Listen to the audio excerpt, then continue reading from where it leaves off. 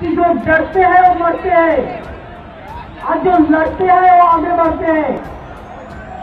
डरना नहीं है लड़ना है। आज देश में जो चल रहा है वो ठीक नहीं है।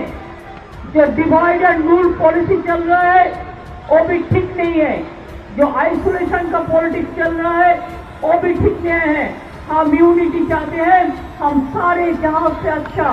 हिंदुस्तान हमारा हम वही चाहते हैं। हम वही चाहते हैं मज़हब यही सिखाता आपको उसमें वैरी रखना। हम हिंदुस्तानी हो हम हिंदुस्तानी हो हम हिंदुस्तानी हो। लेकिन एक साथ में रहने का हक सबका है।